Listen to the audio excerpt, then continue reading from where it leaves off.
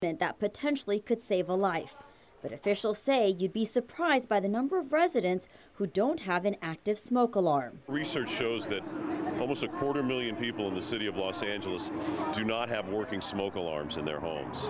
And it's so important to get into those homes and find out what they need. And that's why Councilwoman Monica Rodriguez and officials from the Los Angeles Fire Department and My Safe LA, an organization promoting fire and life safety, are emphasizing the importance of public safety. We are going door to door and block by block to start connecting with our residents to make sure that they're aware of all of the services that we are here to provide and making sure that they are safe in the face of a number of the emergencies that we could be confronted with. Since 2014, MySafe LA has installed more than 35,000 smoke alarms in homes all over the city of LA. That has led to a 40% reduction in residential fire fatalities. 10 years leading up to 2014, on average, 21 people a year died in fires in Los Angeles. And during the last four years, we've seen that come down to 12 and that's uh, a really terrific step. We'd like to see it down to eight a year and then down to zero at some point in time. So the message here, make sure your smoke alarms and carbon monoxide detectors are working. We all know what happened in the Creek Fire. We know what happened in the Tuna Fire. Those were tragic to our community, but I still believe the emergency preparedness that all these partners demonstrated facilitated greater public safety. And it all begins in your home. I'm Rasha Goel for LA This Week. Fighting Fists of Fury join forces in support of traditional Chinese martial arts. Gil Reyes tells us why from LA's Chinatown. You could say they're fighting to keep an ancient art form relevant. Sifu master grandmasters of at least 40 different styles. And uh, it's just an absolute miracle for all these uh, fighters to be in the same room so peacefully. They're actually fighting together to keep Kung Fu alive and kicking and punching in Southern California. This dinner in LA's Chinatown awards pioneers in the Chinese martial arts community and raises money to help keep their schools operating. That's the mission of the Traditional Chinese Martial Arts Federation of Los Angeles, the group formed last year in the spirit of a friendship, uh, the unity, and the uh, respect. That's our mission statement. Well, events like this is helping to hold us together. The MMA became very popular. We need something to help our survival because what's happening right now, we're getting overcome by some of the sport arts, uh, some of the wushu arts, even out of China, and what we're trying to do is carry the ancient art. Not just for self defense, but for good, heart pumping exercise too. LA City Councilman David Ryu says he's trained. The entire City Council and the Mayor joins in your celebration, and we hope this event only gets larger and larger every single year. Keeping the fighting spirit alive in LA's Chinatown. I'm Gil Reyes for LA This Week. And that was the Federation's second annual fundraiser. More money is coming in to help fix our roads. Some middle school kids make school safety a priority, and a local park gets some much needed upgrades thanks to the community. All this in City Beat. Mayor Eric Garcetti gathered with transportation leaders at Union Station to highlight more than 1.2 billion in funds awarded to Southern California transportation projects. The funds will go towards repairing California's crumbling transportation infrastructure. Funding will support highway and road maintenance, increased public transit, and construction of local priority transportation projects. I want to see my daughter. I want to see my wife. I don't want to be stuck in traffic. All of us have a place to be, and we're driving over potholed roads, crumbling bridges. We don't have enough transit options. SB1 shows a way forward. In collaboration with State Farm, the mayor's Vision Zero, and Los Angeles Unified School District, Los Angeles Rams punter Johnny Hekker and Rams cheerleaders surprised students at Columbus Middle School to announce the school as the winner of the Street Safety Hero Pledge contest after its students submitted the highest share, 86%, of pledges to be street safety heroes as part of the Safe Routes to School program. Students take the pledge to be a safe pedestrian and remind family and friends who drive to be aware of people walking and biking on our streets. Councilman Jose Huizar and community members gathered to unveil $700,000 worth of improvements to San Pascual Park. Community suggested improvements include a new playground, outdoor fitness area, a basketball court, ADA walkways, and a refurbished parking lot. Phase two of the project will add new restrooms. Councilmember Huizar's office held five community meetings with the San Pasqual Neighborhood Watch to discuss park safety and instituted the improvements to make the space more active. It only happened because the community is active, involved, and engaged. The summer vacation season began with a patriotic salute to fallen service members. Gil Reyes has more from Memorial Day commemorations on the east side and in Canoga Park. Within LA City, few communities have as much small town flavor as Canoga Park. And it's here in Canoga Park where a wreath dedication for fallen service members takes place every Memorial Day. It's a very patriotic uh, part of Los Angeles, part of this country, and you'll see it. You'll see it in people lining the streets and cheering on, uh, you know, all the floats that go by. What follows is Canoga Park's Memorial Day Parade. Service members, flag wavers, and local leaders make their way down Sherman Way for the biggest Memorial Day procession in California. Tens of thousands come to honor military men and women who died while serving. Because a lot of them are forgotten. A lot of people were forgotten and still are forgotten. Because they gave up their life to give us freedom. And I think that's an awesome thing. It's also an opportunity to say thank you to those who are alive, who are veterans, who need our help, so many of which are living on the streets of Los Angeles. And we have an obligation in the memory of all those who have fallen to make sure that we take care of all of our vets. Over on LA's east side, people honor the dead at El Sereno Memorial Monument. For decades, Northeast LA has sent many of its young residents to war. Many of them did not make it home. For Northeast Councilman and first generation American Jose Huizar, it's a time to honor those who died for freedoms many of us take for granted. Not all people in the world can have freedom of religion, freedom of speech, uh, freedom to congregate, and uh, freedoms to march and protest against our own government. Uh, and the opportunities uh, that we have in this country are tremendous. Things to remember while enjoying summer vacation with friends and family. I'm Gil Reyes for LA This Week. Other commemorations took place at the LA National Cemetery in Westwood, the World War II Memorial in Boyle Heights, Forest Lawn Cemetery in Hollywood, and at the LA Coliseum.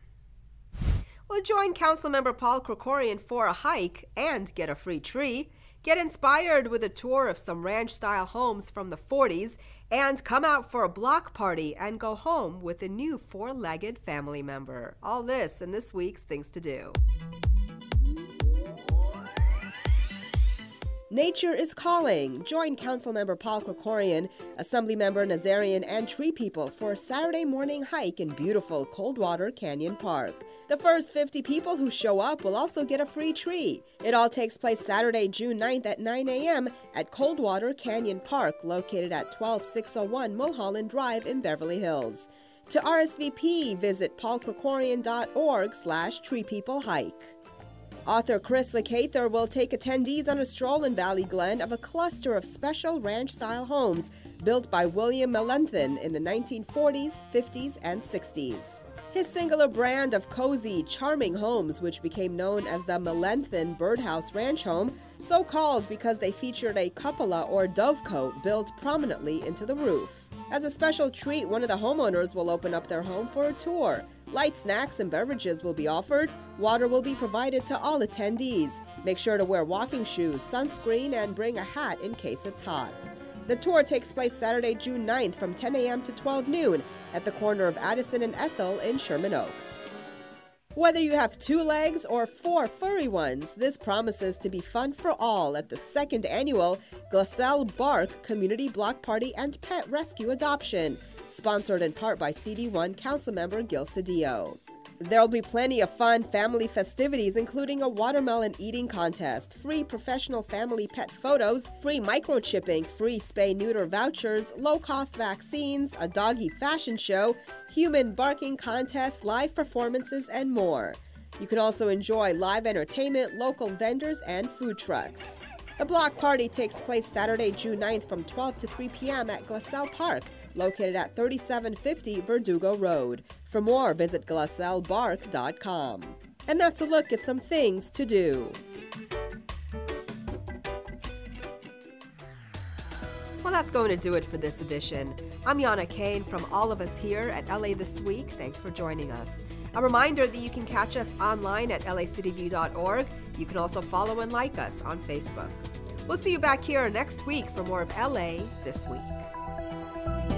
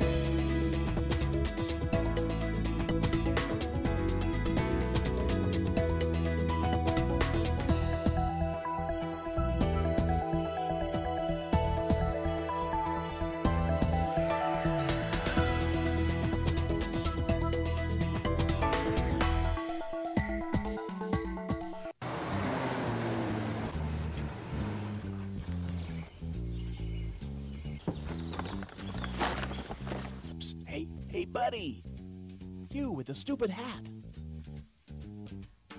Come here. Closer. No parking! Do you know what happens when you park illegally on these narrow hillside streets? You block the street so emergency vehicles can't pass. Each year, homes are destroyed and lives are lost because of drivers like you who park illegally! And you know what else? You can get a citation. And you can be towed. Help us get to the emergency. The life we save just might be yours. How'd you know? The ball called. hey, look out for the pothole.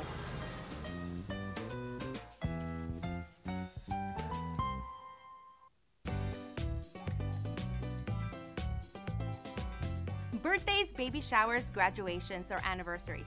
Holidays like Cinco de Mayo. There are lots of fun excuses to throw a big party. But what do you do with all the stuff once the guests have gone home?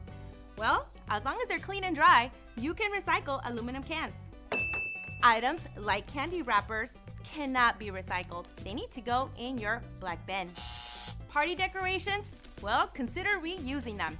Pizza, donut boxes, and other pastry boxes can be recycled only if they're clean. If they are dirty and greasy, please throw them in your black bin. For more information, visit recicla.com. This is Koreatown. My name is Hwang Bae Kim.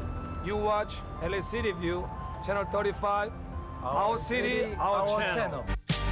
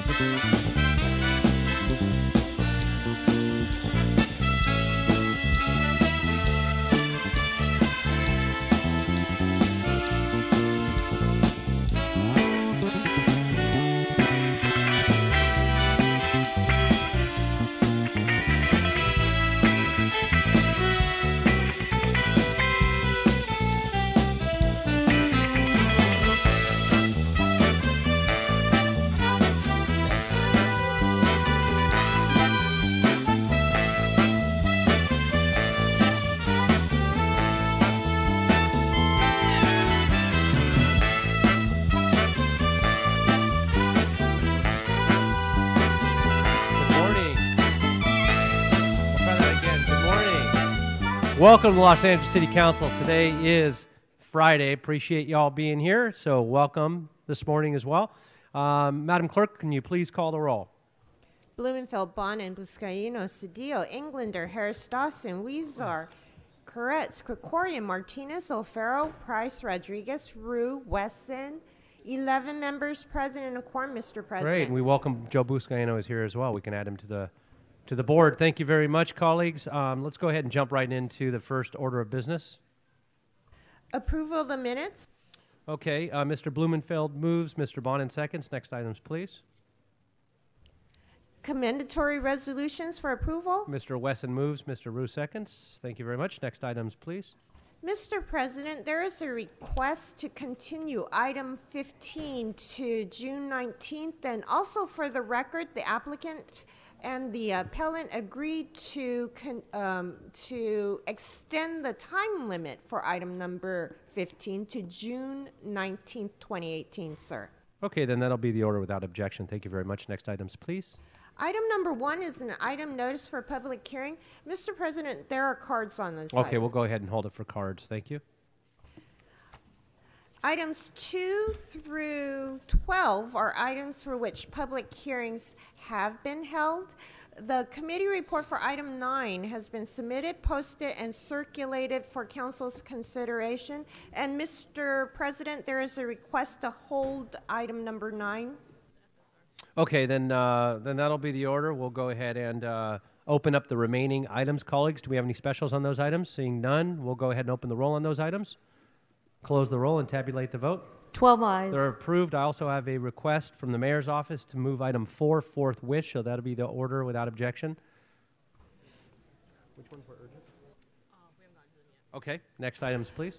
Mr. President, items 13 and 14 are items for which public hearing has not been held. 10 votes are required for consideration. Okay, we'll go ahead and open the roll for consideration on 13 and 14. Close the roll and tabulate the vote. 12 ayes. Those are before us. Do we have cards? Cards on both. We'll go ahead and hold those for cards on both. Next items, please. That brings council to presentations, items called special or uh, general public comments, sir. We'll go ahead and uh, let's go into presentations. Actually, um,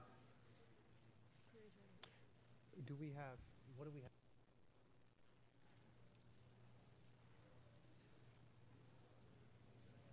Okay, we'll go ahead and go into presentations, and if I can ask Councilwoman Nury Martinez to please come up.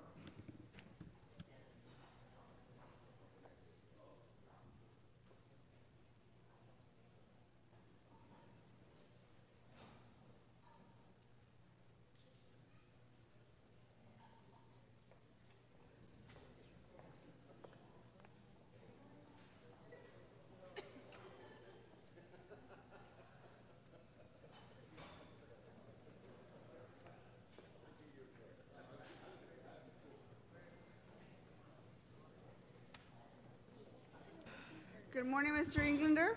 Good morning. Fantastic. Colleagues, this is a man that needs no introduction, but I will do so anyway. You know, um, many of us are dealing with one of the biggest, we're all dealing with, the biggest issue we face in our communities. We're dealing with the biggest moral dilemma of our lifetime. What we're dealing with are families, individuals who are chronically homeless, who are living on the streets, those who are newly homeless, homeless for so many different reasons. And we rely on our community partners more so than ever. We cannot, and we say this often, do this alone, but Wade Trimmer is the proof that we can't do it alone. He's the success behind achievement.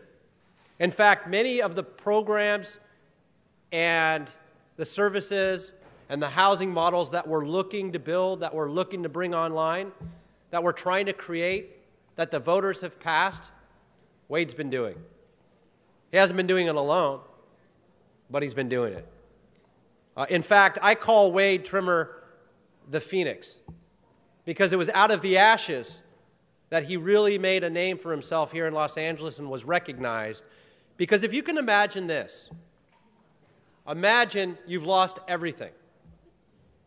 Imagine you are living in a shelter with your children and nothing more, Mr. Cedillo, than the shoes on your feet, Mr. Blumenfield, than the shirt on your back, Ms. Rodriguez, and the blanket that was lent to you to keep your children warm for one night. And then imagine in the middle of the night, there's a fire, and the shelter, the last bit of hope, burns to the ground. Not only were you homeless, but you're now newly homeless again from a fire. In fact, many of these families ran out of the shelter with not even the shoes on their feet. I got a call from Wade May of 2014 and his team. The next day, I found out that morning, the wee hours, that they lost their shelter, that there was a fire. They needed shoes, toiletries, everything. They had nothing. I'll never forget the phone call, in fact, that I made to Walmart. And I called up in the morning and I said, I need to speak with a manager. And they said, There's no manager on duty. We just opened the store. I said, Well, I need to speak with whoever's in charge. They said, Okay, we have an assistant manager. And they got the assistant manager on the phone. And I said, I'm Councilmember Mitchell Englander. We just had a fire in a, a homeless shelter burnt to the ground. We need shoes, clothing, toiletries. I need it all donated. I need it right now. And they said, okay, okay, slow down. Just have one quick question for you. I said, okay. She says to me on the phone, What's a council member? So I said, All right, this is going to be a longer phone call. By the time we hung up, she said, We're going to have three full baskets waiting for you. I'm putting my job on the line. Not only do I know, not know who you are or what you are, but what you're asking for sounds like the right thing to do. She put her job on the line. They sent over Stacy and so many other people to pick everything up, and everybody came to help. In fact, it was the only time that I remember since I've been on the council that on that Sunday, all the council members in the San Fernando Valley got on a conference call.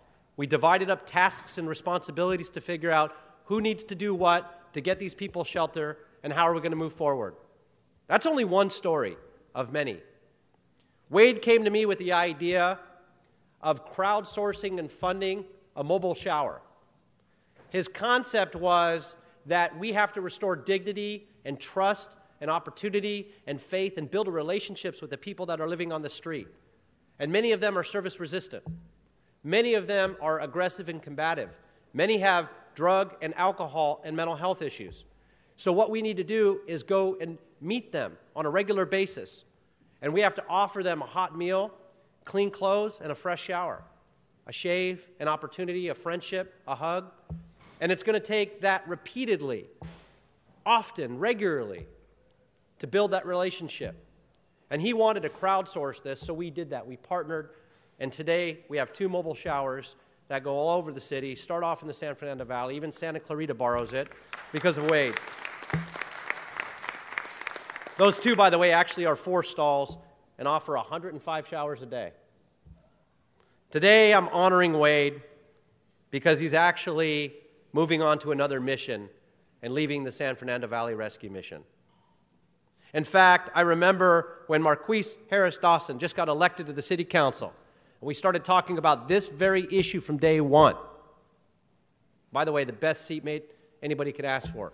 We often and regularly, almost daily, talk about what we're doing to try to help a little bit. So I was talking to him about the San Fernando Valley Rescue Mission. And the first question he asked me was, Where's the San Fernando Valley? No, he didn't say that. when, come out, when can I come out and visit this place that you're talking about? There's no place like this on the planet that could be possible with everything you're describing. It doesn't exist. I'm going to come out and see it. So he did. He came out there, we toured it, and then, much to my surprise, I, fi- I found him sneaking back and giving tours with other people because we know it could be replicated and duplicated in all of our districts. Wade has made a mark that is unprecedented. He's dedicated his life to helping those in need, those that need service. Prior to the mission, He served as an associate director for My Friend's Place, a drop in center for homeless youth.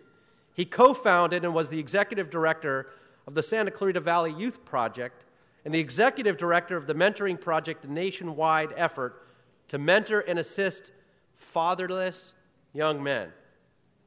All in all, he's dedicated over 26 years of his life to helping those most vulnerable in our society. His time as director of the rescue mission has been incredible. While communities are often resistant to shelters, the San Fernando Valley Rescue Mission is a model because of Wade, because of his staff, because of April, because of so many volunteers and others who have stepped up. But it's all been Wade. His leadership, we've tripled the rescue mission service capacity and proved that we can manage shelters and contribute to help our communities. Uh, I can go on and on about the unique partnerships we created. In fact, one of the first Clean Streets, Clean Starts program, where we partnered with Wade, where we can hire the folks who are living on the street to clean up the streets, give them an opportunity, offer shelter, offer substance abuse programs. We've now spin that off. It's become its own nonprofit with its own board of directors and governing board. They've taken over the entire San Fernando Valley. I think they're working in five or six of the council districts now. Neighborhood councils are funding them, and they're helping thousands of people. It's Wade. Helping to get that off the ground and keep it moving. We, um, we just finished our Making Movies That Matter, the largest youth film festival now in California. And, uh, and Wade came to us and said, You know, this is great.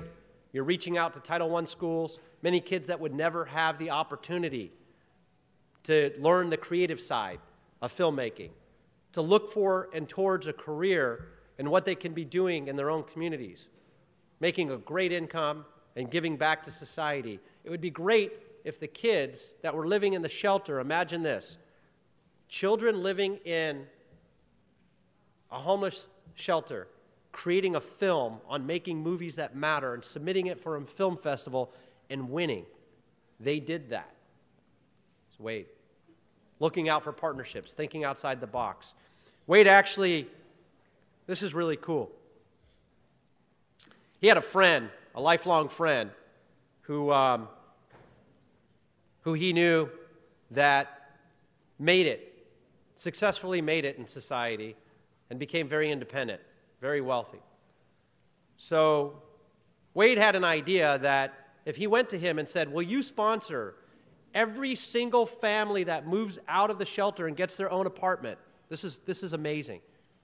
Every family that moves out of the shelter and gets their own apartment, they move into an empty apartment.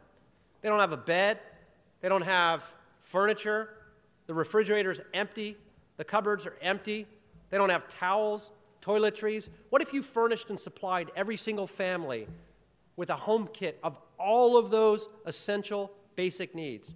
Filled the cabinet with food, stocked the cabinets with toiletries and linens, beds for the kids and the families, everything they need. He agreed, and every family now that's moved out of the shelter, Wade has gotten and worked with him to fund and get them started. It's Wade. This guy has really made a mark on LA. He's truly a hero. He's moving on to bigger and better things. I don't know if they're better. I don't know that you can do bigger.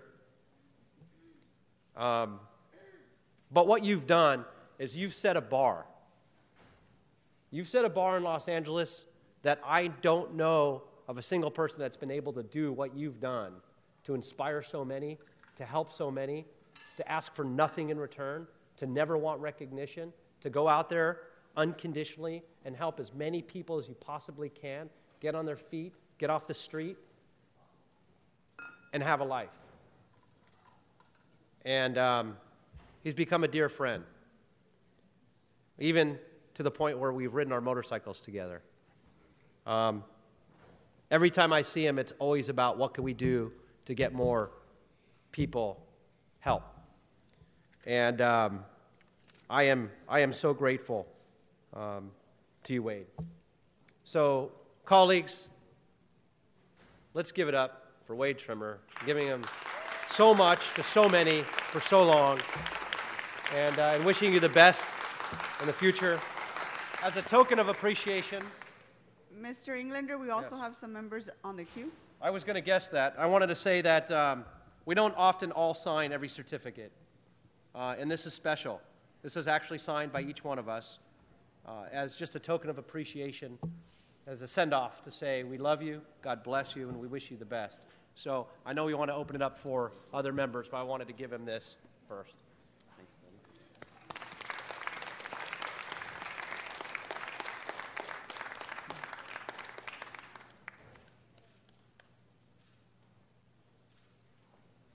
Mr. Blumenfield?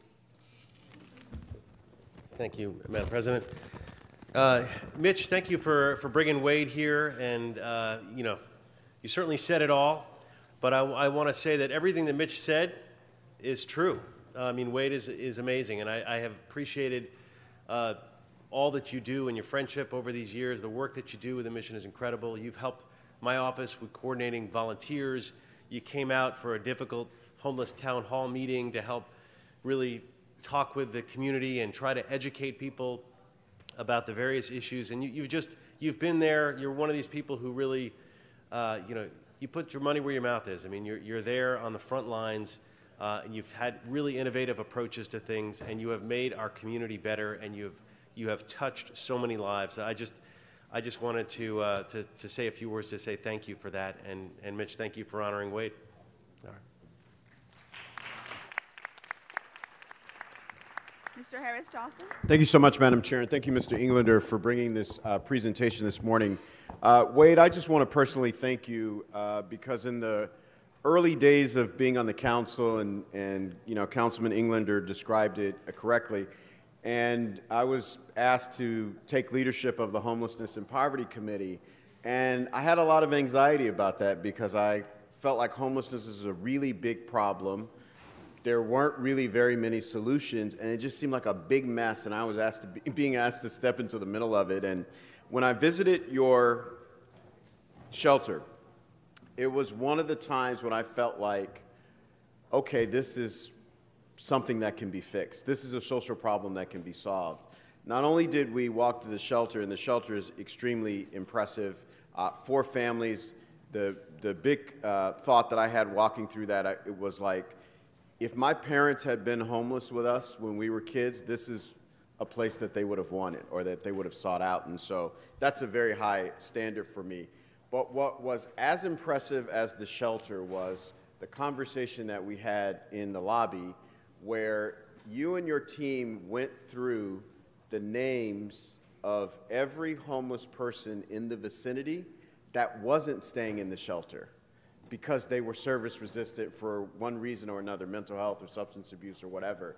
And you had a plan for how to win them over to get them off the street and into the shelter. And I, I thought that that was um, as important as having the facility because so often many of us want to, you know, throw. I mean, I have conversations with people and I just say, what are we going to do? This is hopeless. Um, and you all had sat down, made the commitment, and, and in a disciplined way be, to be, began to figure it out. And so I, I want to personally thank you for that because that's a big thing. Uh, and then almost as big, our first Homeless Connect Day, uh, you drove that shower down to South LA, and, and dozens and dozens of people take, took showers that day. And I run into people to this day that haven't forgotten that shower that they got on Avalon and 98th Street from some people who came to them from the San Fernando Valley. So thank you so much.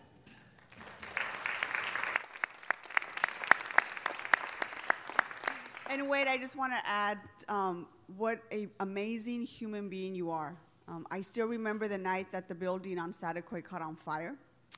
Um, and Mr. Englander's right, how everybody came together, um, not only because we thought it was important, but because we knew uh, the need was necessary and that we needed to find resources to help those families. I also want to just kudos to your entire staff. Um, I think they are amazing people doing amazing work and you had an amazing leader. And I know that, that it's in good hands, but I wish you the best, Wade. You are truly one of the most special people I have ever worked with. Good luck. And I'm going to miss you.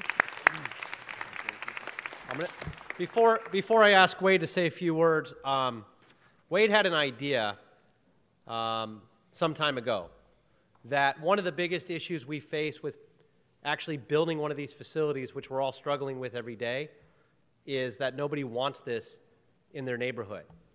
And so we partnered on a program where on a regular basis we bring we've hosted every single neighborhood council now in my district at the mission. We've brought in all the chambers of commerce to the mission, CSUN to the mission.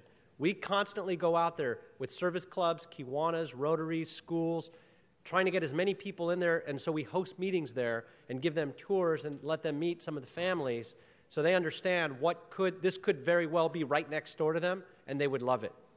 Uh, Wade set out with that vision when they started on this building where he tapped HGTV. Um, who was it? Uh, Emily Henderson. Emily Henderson. Um, and in fact, she was pregnant at the time. And she came in and decorated, and, and you can imagine, you've seen those HGTV extreme makeovers. They did this, she did this for the mission. So you walk in and you think you're in some, some beautiful resort. Um, and we are able to accomplish that. And so now when we bring people there, every person that walks in, I ask them, when we host these meetings, when we had 50 neighborhood councils there, I said by a show of hands, who would allow these, who would vote on one of these if it was on their agenda in the neighborhood council to put this in their community? And I want to see every hand up. And I'm going to hold you accountable to that. And I always do that, and I drill them for it. And it was Wade that said, let's, let's change the mindset. Let's get them to see what these could be and what they're about. And, um, and everything that Nury, that you said, she's a remarkable human being that's led a truly, and I'll use your word, amazing staff that uh, all do, do, it for the right reasons, and it's because of Wade's leadership, and we're, we're certainly going to miss him at, at the mission. So, without further ado, Wade Trimmer.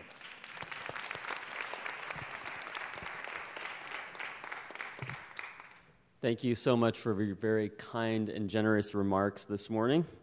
Um, it's a, a, little bit uncomfortable for me and very humbling, um, but it's really also a testament to you uh, to this great city and to its leaders. It's certainly a testament to my team.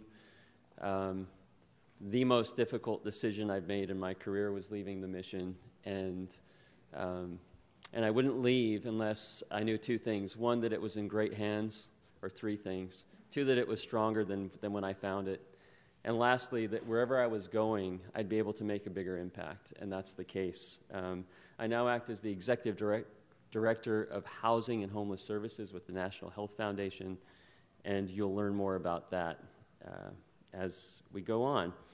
Um, I want to thank each of you for not only your partnerships, but your friendship.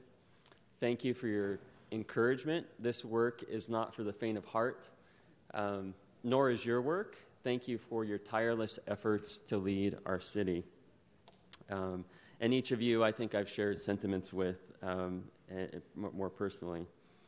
And as much as I'm grateful for the recognition of my work, I want to thank you for the recognition of the crisis facing, facing our most vulnerable citizens, uh, people experiencing homelessness. Just this morning, I was made aware of a woman who passed away earlier this week, and I shared Thanksgiving dinner with her at our Thanksgiving feast last year. Last week ended with the news that another person I knew experiencing homelessness passed away on Friday. This devastating news only strengthens my resolve and tenacity to do all I can to help as many people as I can. But of course, we have to do it together. And the truth is, is that people are dying, human beings are suffering, and it's our job to alleviate that suffering. I'm confident that we'll see a day where our most vulnerable citizens are housed. We'll see a day where seeing a person who is homeless is an anomaly. It's no longer normal. And I won't give up until I see that day. And I'm asking you to not give up until you see that day. I want to again thank my team. April Lind is acting as the interim director of the rescue mission. I ask that you give her your as much support, if not more, than you gave me, and your encouragement.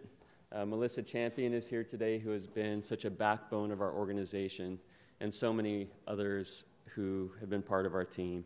And then Kelly Bruno is here today, who's the CEO of the National Health Foundation, has been doing incredible work for over a decade. So, with that, can't thank you enough. Mitch, I want to thank you for a framed. You said y- that this is framed. It's beautiful. I'm going to go hang it on my wall now. Um, and again, thank you for all you do for our great city.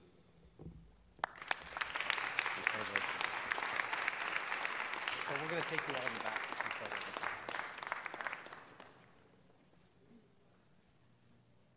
Thank you, Mr. Englander. Madam Clerk, we're going to move on to item number nine.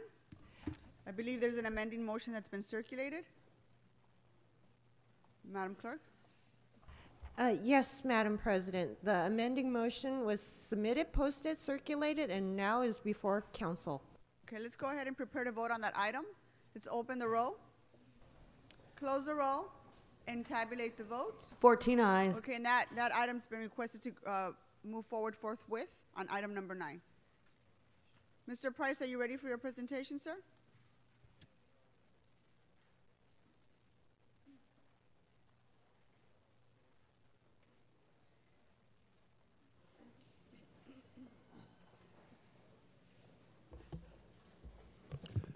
Thank you, Madam President. Members, uh, today I have not one but two presentations for you, and I promise they're equally uh, important. June, some of you know, already know, is African American Music Appreciation Month. Today, I'm expanding it to include the gamut of African American storytelling, music, and culture. Some of you may have read the Pulitzer Prize winning story by Alice Walker, The Color Purple.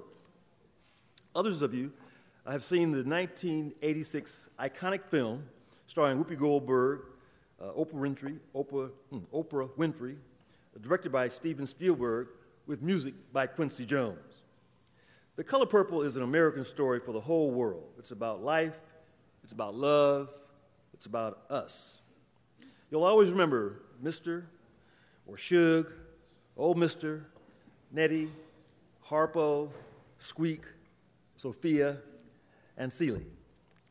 And you'll never forget the color purple.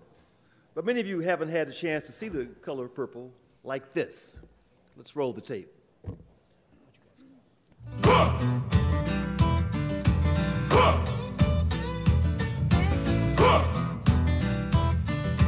I'm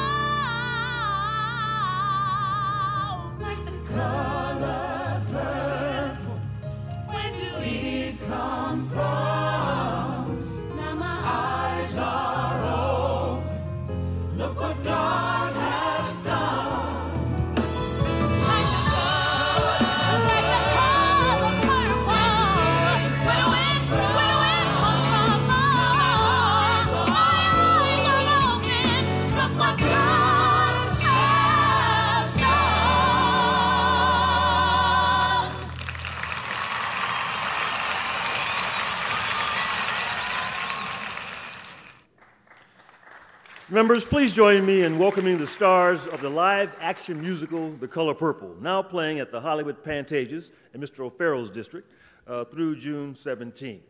Please welcome, let's give them a round, Mr. Gavin Gregory, who plays Mr. Miss Carrie Compere, who plays Sophia. And Miss Carla Stewart, who plays Shug. Uh, Gavin, would you mind saying two words? Yes. Hi, everyone. Thank you all so much for having us here today. Um, uh, first of all, we just want to give honor to someone who, um, who started this, and that was Miss Alice Walker, who really wrote a- and inspired so many people, um, inspired uh, Steven Spielberg and Quincy Jones to even uh, embark upon making an awesome movie that, that's become iconic. And now here we are um, being able to represent this story of, of redemption, of hope, of love that that's going to resonate. I mean, it, it's resonating now. It resonated then, and I'm sure it's going to resonate 100 years from now. And we're just so proud to be a part of it. Um, black music uh, African American music ha- has been a cornerstone of, uh, of, of American culture, and we just want to thank you for representing this. Uh, we would be remiss if we didn't acknowledge um, the songwriters um, of, of such great music. Mr. Stephen Bray, who, who, who's done so many wonderful works. Um, I mean, he's worked with artists like Madonna, he does all sorts of um, uh, uh, uh, movie um, uh, scoring and, and whatnot. Miss Brenda Russell, who, um, who who's also um, a, an- another amazing singer and songwriter, and also Allee Willis, who has just been inducted into the Songwriters Hall of Fame. So, um, on behalf of them and all of the wonderful people that we work with um, on, a, on, on a daily basis, carrying this, this beautiful story of redemption throughout the country, uh, we really, really thank you so much for recognizing us. Thank you. And please accept this as a token of our appreciation uh, for the uh, brilliant work that, you that you've done and for the revival that's in place now. Thank you so much.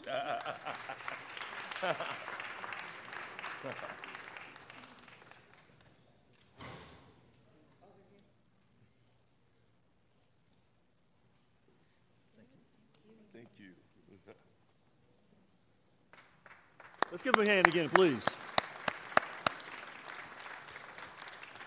Now, members, for my living legends, not one, but two centurions. I think this is going to be an historic moment in the history of the Los Angeles City Council chambers. Let's give a warm round of applause for Mrs. Lily Thomas. Come on, Lily. And Mr. Shep Shepherd.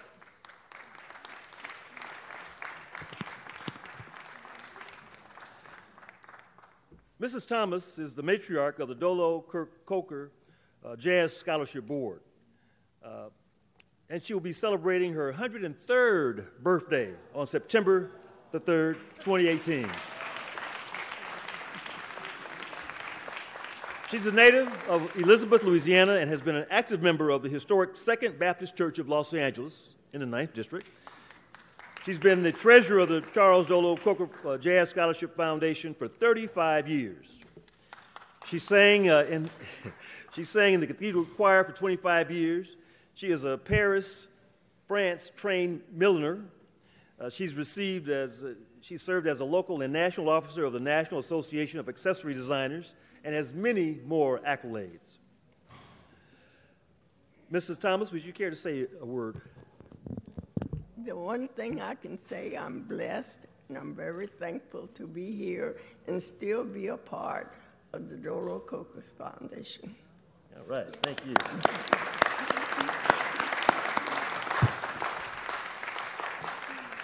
Now I'd like to introduce uh, drummer Mr.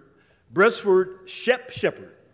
Shep has performed with some of the best musicians in the world, uh, and he says it's all about love. He's played with Benny Carter, Artie Shaw, Dizzy Gillespie, Lena Horne, Cab Calloway, uh, Ella Fitzgerald, and that's only a fraction of the list. Uh, his love for music and for life.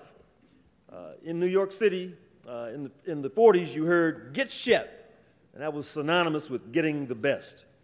Uh, at 101 years old, 101, he's a composer, an arranger, a drummer, trombonist, uh, and sometimes a vocalist. He made his way to California in 1964 on the road with the stage production Here's Love uh, in San Francisco. Shep eventually moved to Southern California, uh, and we are blessed with his presence today. And I understand he maintains a, a- an active uh, uh, an active record uh, and is going to be performing. Yes, July 13th at Saddleback College and July 18th at Newport Beach. All right, ladies and gentlemen, without further ado, Shep.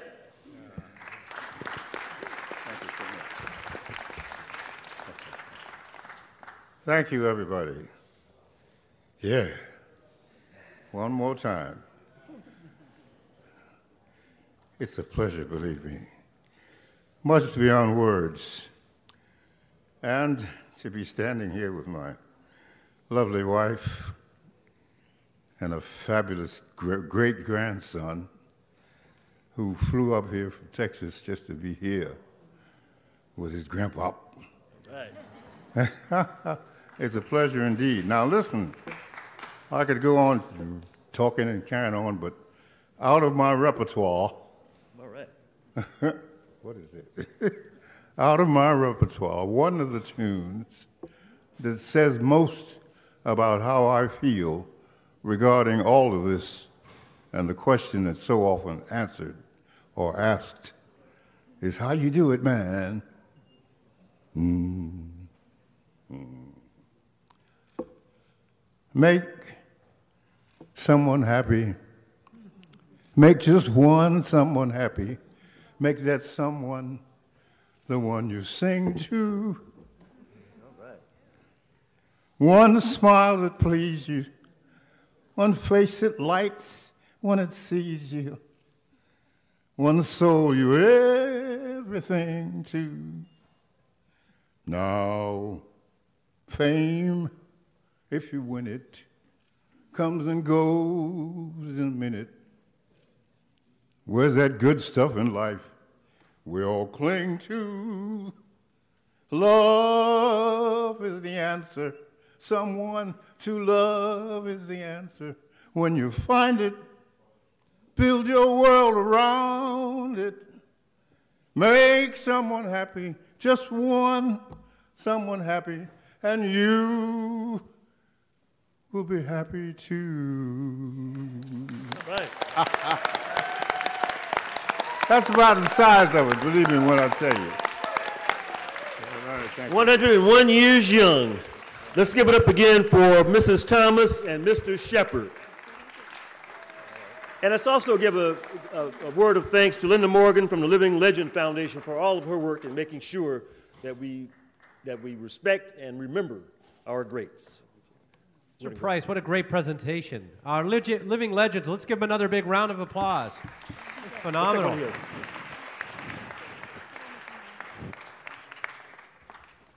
Buscaino, if you were old enough and can carry a tune, I would have asked you to uh, accompany them.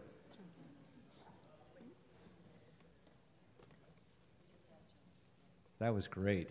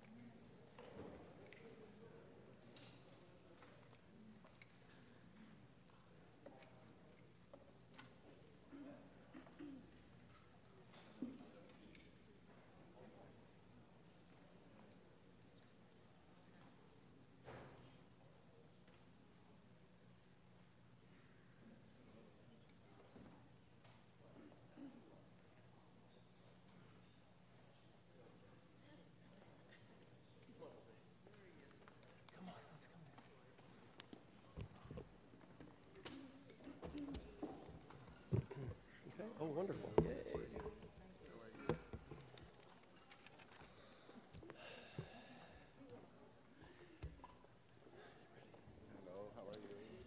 Mr. President and colleagues, we are ready to begin our next uh, presentation. I am so pleased to be standing here uh, with our colleague Jose Huizar of the 14th District, uh, with um, uh, Ms uh, Rhea Oreta, representing the Philippines consul, um, Rhea Lazo, president of LaFace, which is the Los Angeles Filipino Association of City Employees. And I, is Commissioner Joel Jacinto here? I haven't seen him. Okay, maybe he'll, maybe he'll pop in during this. But uh, I want to say to everyone, mabuhay. Uh, colleagues, on, on June uh, 12th of 2018, the Philippine nation will commemorate the 120th anniversary of the Declaration of Independence from Spain, which led to the establishment of the first constitutional republic in all of Asia. I am particularly proud to be here today as a representative of, historic Filipino Town, a neighborhood that has been home to, the Filip, uh, to Filipinos since the 1940s and served as a gateway for many Filipino immigrants in Los Angeles. Um, something that's very exciting, and I'm going to hold up this sign. Isn't that nice? The Pasig River uh, is a sister river now, and it was commemorated.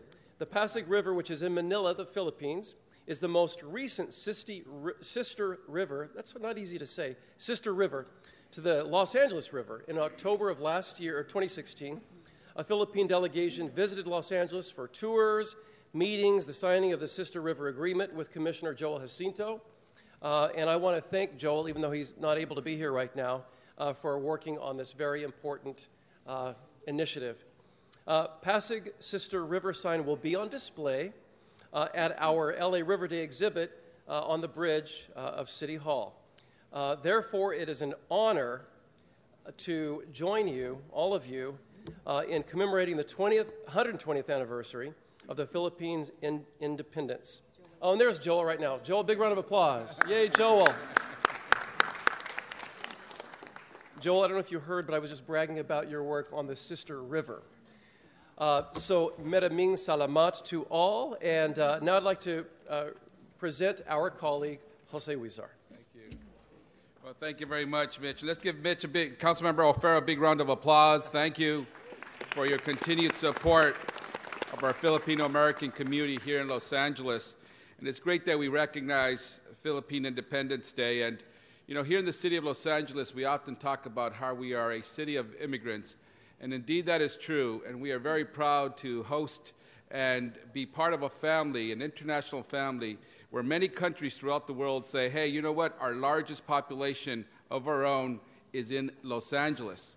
And that's true for the Philippines as well. But what's different is that the Philippines were one of the first founders of the city of Los Angeles. They were, involved, they were here with the pobladores when we first, uh, the European nations, uh, discovered uh, Los Angeles and made it a city in those colonial times. They were part of the original pobladores. So we talk often about Filipinos in Los Angeles as immigrants, but in fact, they have been here since the very beginning. So thank you for that. And we also want to acknowledge Consul General Rea Orita. Uh, members of the Filipino Association of City Employees, uh, their president, Rhea Lazo, and everyone else who joined us. Uh, I I'm very proud to be part of this celebration uh, each and every year, uh, not only because I have uh, met many great members of the Filipino community here in Los Angeles, but also that I happen to represent one of the largest Filipino communities in Los Angeles, which is in Northeast Los Angeles. We have people like Ruby De Vera and others who are very active in our community who contribute each and every day to make Los Angeles better.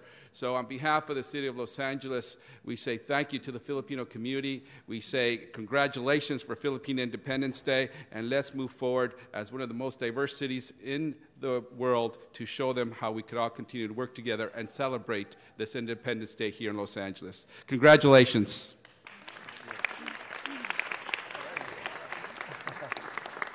Uh, and now I would like to actually bring up uh, Ms. Rhea uh, Oreta, Office of the Philippine Consul General in Los Angeles. Right here. There you go. Um, good morning, everyone. On behalf of the Philippine Consulate General in Los Angeles and uh, Consul General Adele Cruz, I would like to thank the City Council for this moment and for this recognition. Um, when we look back in history and uh, we see the, the patterns of Filipino migration, uh, we could see that uh, Filipino migration is caused mainly, primarily by the need to earn a better living and build a better future for our families. And perhaps uh, receiving a recognition like this uh, is the least of the expectations of the early Filipino settlers in the city. But here we are in the 21st century, amidst the majestic walls of this uh, chamber, uh, being recognized in the city. Um, we've come a long way, and uh, it is really a, a moment of deep pride and honor for us to be here today. And uh, on behalf of the more than 120,000 Filipino Americans in the city, uh, I'm glad to stand here before you today and um, uh, to recognize their, their contributions, not just to the economy of the city, but also in shaping the social cultural fabric of Los Angeles. And at that, shout out to Council Member Mitch O'Farrell and uh, LA City Mayor Eric Garcetti for their continuing work in the Filipino historic town. Thank you very much. Thank you so much. Thank you. Thanks for joining us. A few acknowledgments before we bring Rhea Lazo of La Face up to say a few words. I'd like to acknowledge Ye Coronel of FOSG, which is uh, the Filipino American Service Group, Inc. Uh, I'd like to acknowledge Fernandinko uh, uh, Q. Ganong of FACLA, Philippine American Community of Los Angeles. Uh, we might have some law enforcement personnel who are here of Filipino heritage. Uh, Darna Umayam, Philippine Independence uh, Coordinating Council of Southern California. Mildred DeYoung, Ms., uh, Miss Filipina International, and the Miss Filipina participants. And they have an outsized sort of success in the Miss Universe pageant. What is it about Filipino, Philippine women? Um, but they, they really represent. Um, all right, now I'd like to, uh, and also we have who just joined us, uh, Mr. Mike Eng, who is a former uh, College Board of Trustees, LACC, and former Assembly member, who you'll hear from in a moment. But next, I'd like to bring uh, on Rhea Lazo of LaFace. Rhea.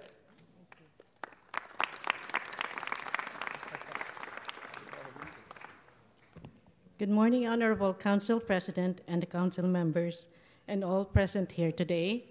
I am honored to stand before you as the President of the Los Angeles Filipino Association of City Employees as we celebrate the 120th year of the Philippine independence. As a Filipino organization, LaFace mission is not only to assist Filipinos and other city employees with career advancement and employment in civil service, but to assist in the economic, educational, and cultural advancement of Filipinos in the Los Angeles community. In celebrating and commemorating milestones such as Philippine Independence Day, we hope to share Filipino history, culture, traditions, most especially our food, with younger Filipino Americans and the diverse groups of people that comprise this great city of Los Angeles. Through exposure and social connections, we hope that greater knowledge and appreciation of each other's culture will help build a stronger sense of community.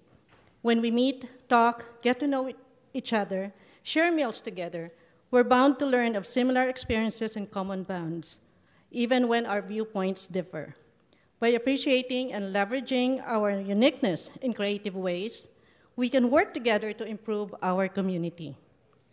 Again, on behalf of LaFace and its 2,700 members, we, we thank all council members and especially acknowledge Council Member O'Farrell and Council Member Huizar for your continued support of LaFace, the civil servants of the City of Los Angeles, and the Filipino community. Mabuhay. Hi, thank you so much. Uh, before I bring on Mike Eng, I would like to acknowledge members of my staff. Gigi Galeas, who is here, who keeps me organized here at the City Hall office, and, and Angelo Yanko, who is legislative uh, lead on so many things that we're working on. Thank you, Angelo. Yes, you. All right, now I'd like to bring on someone who has been an advocate and ally to the Filipino community for so many years, most recently of the LACC College Board of Trustees, and previous to that, Assembly member, and that is the Honorable Mike Eng.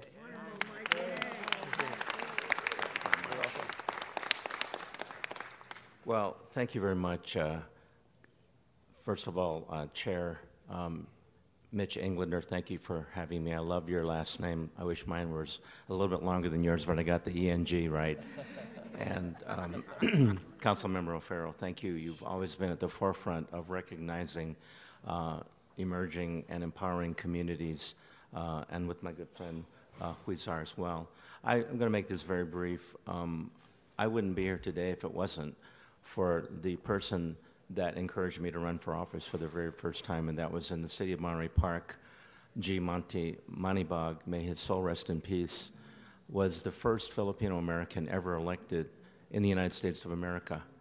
And he was also um, an Olympian and an attorney and encouraged me to run. In fact, I, he named the street that I live on, that Ju- my wife Judy Chu and I live on today. It's called Bataan Place.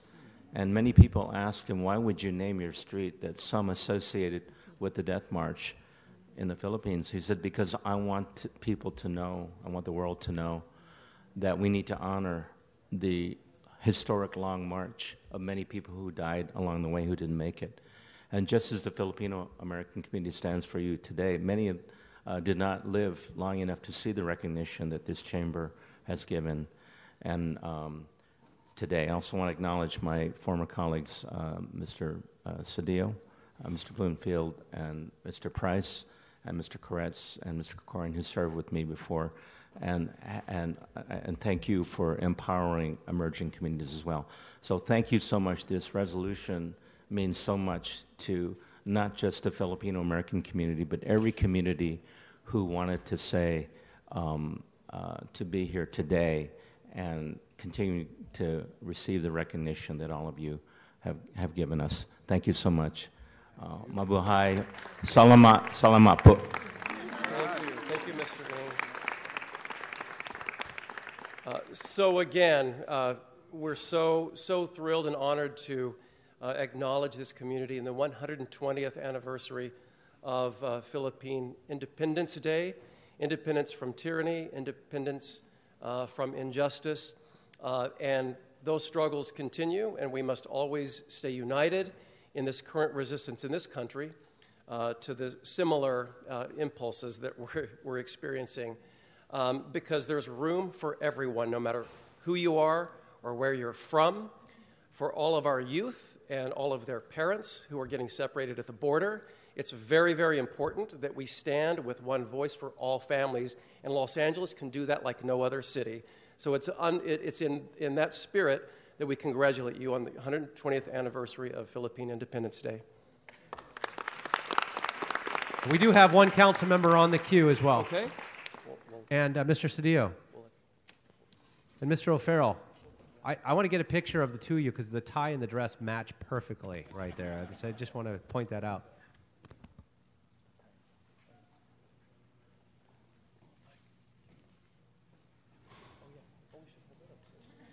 Mr. Cedillo, the, the floor is yours. I want to give. Oh, uh, give him a time him to take a picture. to, You got uh, it. You got it.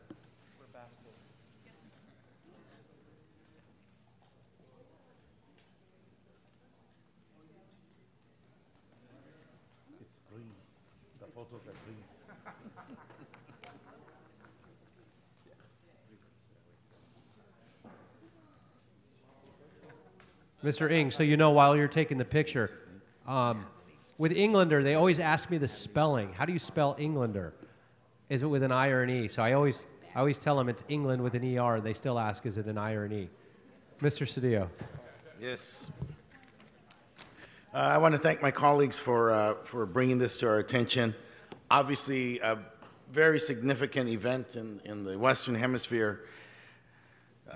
As a senator and as assembly member, I had the privilege of sharing that same area and representing that area as a. Um,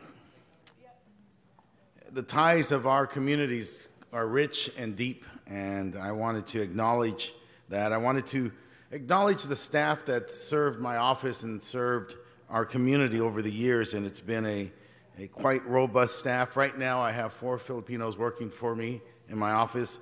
Some people refer to it as a Filipinos Working Center. Um, so let me acknowledge Mal Iloman, who's been with me since the first day I was elected. Tony Ricasa, who's uh, also a return to my office after many years of working for me. Gerald Gubatan. And he's uh, uh, out ill today, but Eduardo Hewitt is also uh, part of our staff, and we're very pleased uh, to have him with us. Uh, I want to acknowledge a few others who have worked for me uh, Marissa Abrajano, who's now a professor at the University of San Diego, Lindsay Hervaccio, um, and our, our also our intern, Natalie Ricasa Vagaporo. And then finally, note that with this rich staff, we, our office was the uh, first office in the nation to honor the Filipino World War II veterans and to make sure that they and their families were compensated for their commitment and their patriotism to our nation. And so I wanted to take a, a moment to do that. And finally, also welcome to uh, this chamber's uh, a great leader, uh, not just for the Filipinos or for the Asian American community, but a great leader uh, in our state for all people, for civil rights and human rights, uh, Miguel uh, Mike Eng. So thank you for uh, being with us. Miguelito Eng. so thank you. And, Mr. President, I would be remiss if I didn't introduce uh, my pla- Deputy Planning Director, Kevin Ocubillo, with a cool haircut. Thank you, Kevin, for all the work you do. Mr. Ryu. Thank you, Mr. President, and thank you, Councilmember O'Farrell and Councilmember Huizar for bringing this, and, and thank you, Councilmember Cedillo.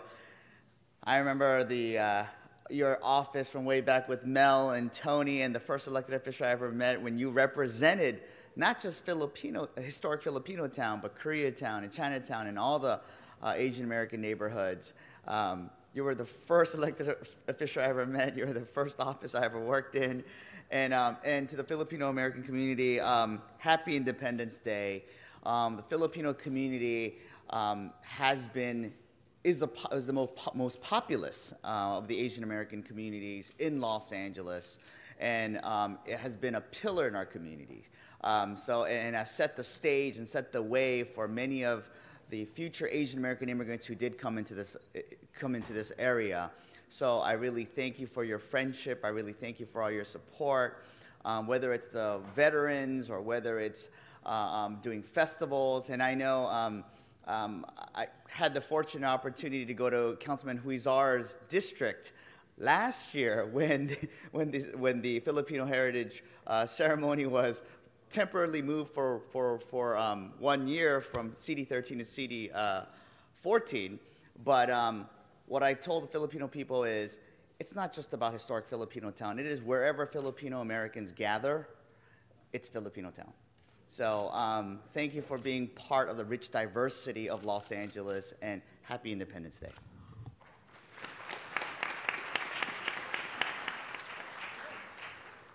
All right, with that, uh, that closes the presentation. And again, it, we're just so honored to be able to bring all of you together today and celebrate the 120th anniversary of this very, very historic day. Thank you.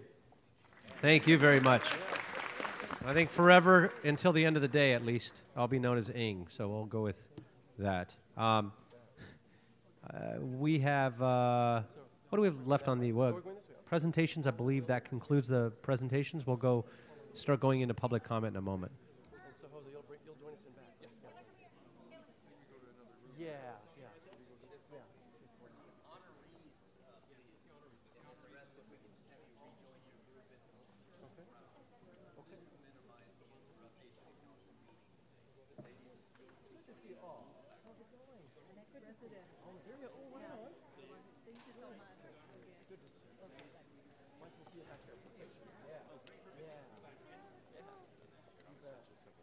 Thank you. It's okay. Yeah. Oh, the, oh, listen to this guy. He, he knows everything. Great. Thank you. Oh, thank you. Thanks for joining us.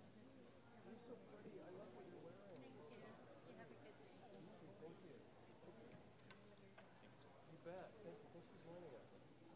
Hello, neighbor. How are you? Oh, good to see you. Yeah, good. Thank you. Oh, thanks. You too. You too. Hi, Mitch. Hello, sir. How are you? Thanks for supporting us for history. Let's do it. Selfie. Okay.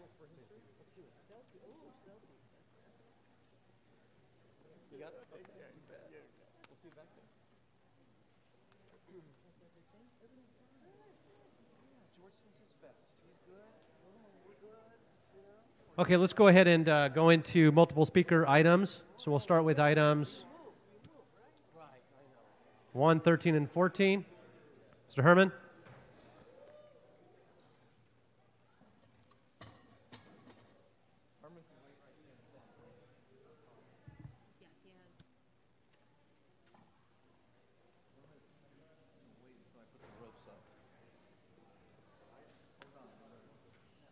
Stand by.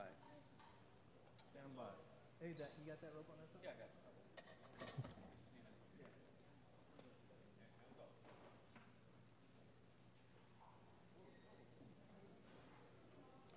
Okay, uh, we're ready. We're good. We're good, Herman. Thank you.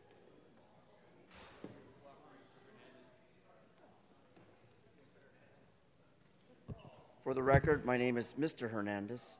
But hearing on protests and appeals of objections for confirmation of lien nuisance, we all recognize who Curren Price is in CD9 at 216 East 64th Street.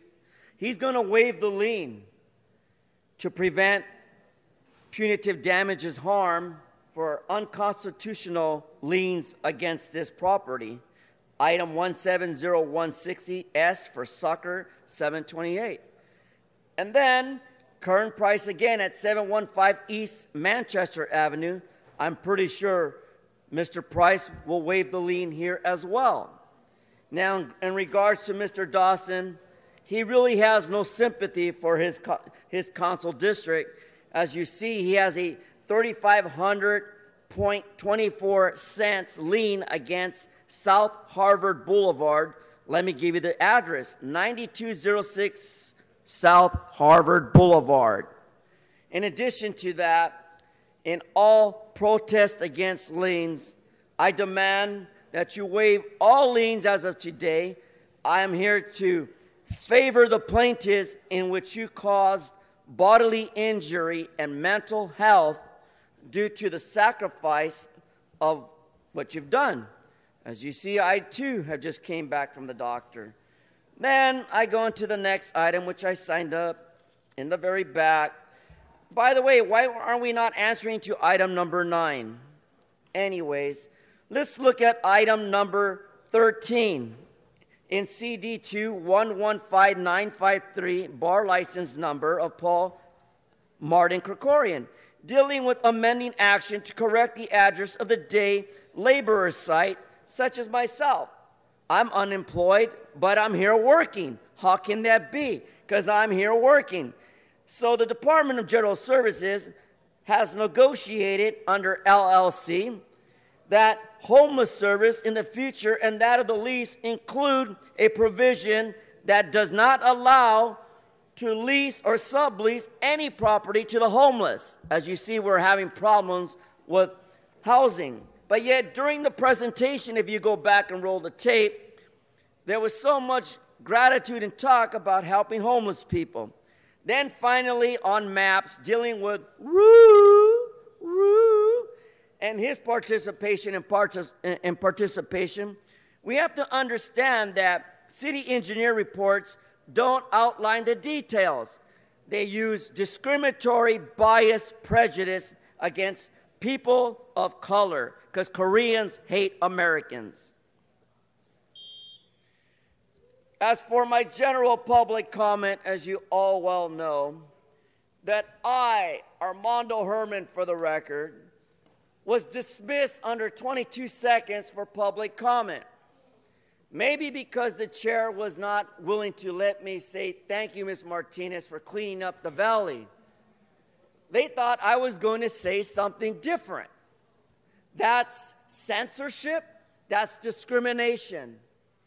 So, as long as you're in America and you vote for Mr. John Cox, I would rather vote for a Republican, Mr. John Cox, because my cocksucking governor is going to do better for California. Vote for Cox, support Cox, C O X, not like the city of Los Angeles, C O C K, cocksuckers, and let's win, win, win. Remove the LGBT queer from, from San Francisco And as I said under 42 USC, fuck Mitchell Englander. Thank you, Armando.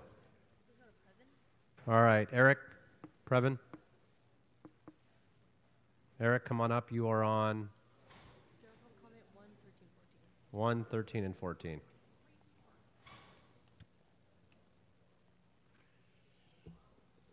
Uh, Thank you, sir. 1, 13, 14, and 9, because you have a 9A, which was a substantial change, correct? Mr. President, that item has already been voted on. Right, so could you reconsider? it? Can you uh, stay on the items, please, or you're going to forfeit your time? I'm not going to tell you the rules again. You're here every single day. We tell you You're the rules all talking the during my time. You're time, always sir. off subject. Item number so you one know the is the rules. lien item, and we don't have any from 12, but we do have some from uh, District 6, which is uh, uh, Martinez, uh, 8, which is Harris Dawson, who has a 35. He broke the record today for the highest lien against his uh, constituents.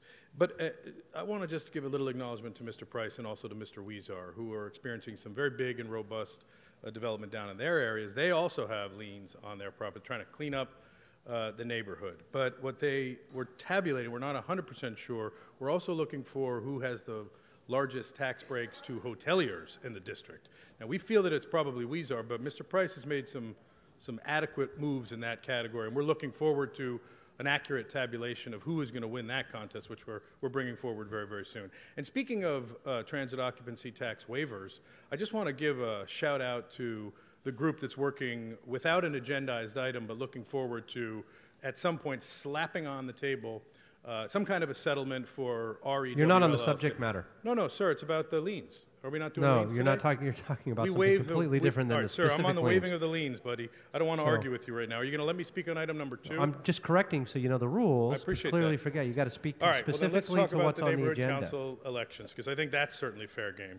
What we're doing is we are moving it over to the clerk, and we're going to skip a year to year three. for Mr. the President, he's terms. not on agenda Okay, his item. time is up. He's disrupting this No, it's meeting. item number no, you're two. disrupting the meeting.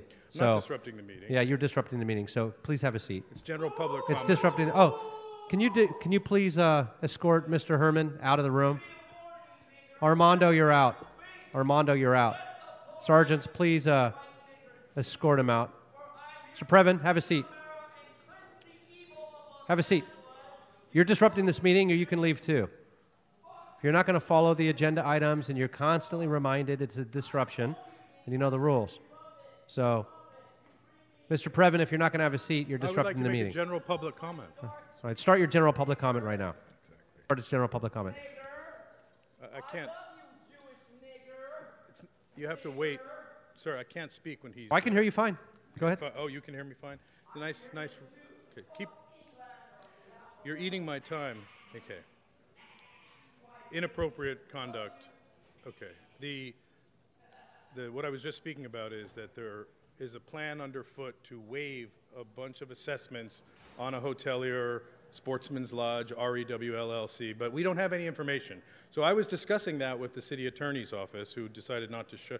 He's got his uh, s- s- stand-in today, but Mr. Fauble needs to make clear what the terms of the if we if he owes five million and we're going to waive it down to one million, or if he owes one million, we're going to waive it down to. People need to know because we're not waiving so much for the small players, but the big players who are contributing, sir, including to you and your supervisor Cam, including to. I can go around the room. A lot of the people in this room received contributions from this chap and his LLC and the various right, your time is up. Thank you very that. much. The next speaker, please. Sean?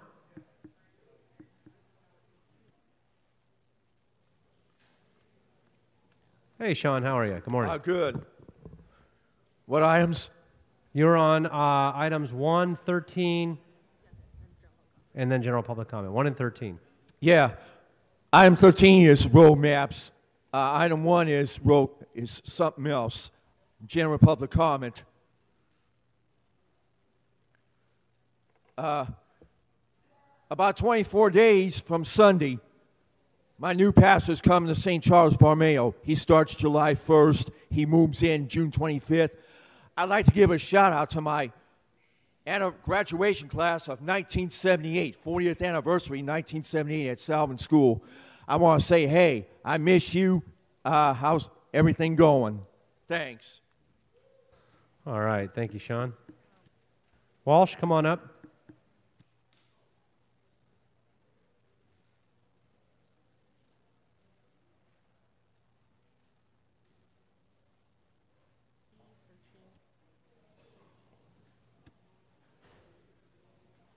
1, 13, and 14. 1, 13, and 14. Okay, uh, building and safety. Uh, you actually do a good job on building and safety. Uh, number 13, this is uh, operations of the Day Labor Center uh, site uh, on Sherman Way. You're doing a fairly good job there, except the homeless is increasing by incredibly uh, incredible amounts. Uh, it is almost water and power site for day labor center uh, and homeless service in the future. All you do is build homeless centers and uh, not use them. Uh, 1, 13, uh, 14, all these maps. Watch out for these maps.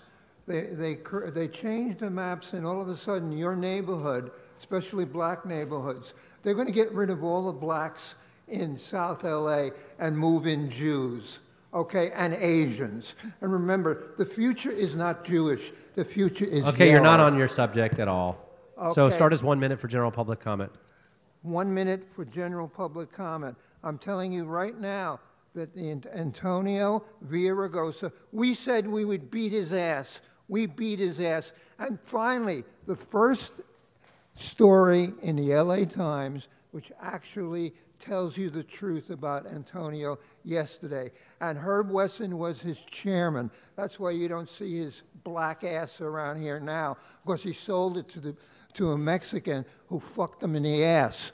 All right. You're, you know what? No, there's nothing Stick wrong to with items under the subject matter of the purview of this. Can I say fuck, fuck somebody in the ass? Can I say that? If you're not speaking to items under the purview of this committee, Uh, you're no, done. no, no. no. I'm on public comment. General Doesn't matter. comment. It's not about piece anything general public. shit. Okay, you're You done. Your time is up. shit. Thank you, Mr. Walsh. Have a seat. Thank you uh, once again for being so articulate. Wayne. Same items, Wayne. Fuck them in the ass. so we get to these things. We have a lean number one. It's disgusting. From 1E.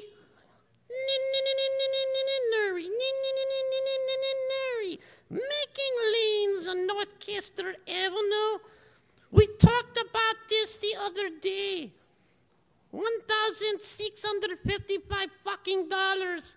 Now, see, I wore my denim patch, and she wears her denim patch, terrorizing this poor fucking homeowner, putting this woman out in the street, North Kester Avenue.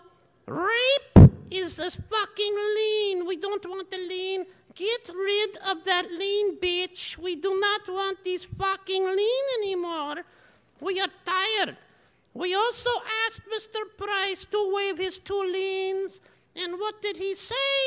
He told us to talk to somebody named Lynn Price. And I went there and I cannot find her in the office, but we will go to the New Jersey office and find her there. Wave the fucking liens now. To numbers. These fucking agenda 13 to expand the labor shortage facility in CD2. Yes, even though I'm a pig, that filthy fucking Krikorian is doing it again in North Hollywood. He's pushing his slaves from Studio City to fucking North Korea. North Korea, North Hollywood, the same goddamn fucking thing.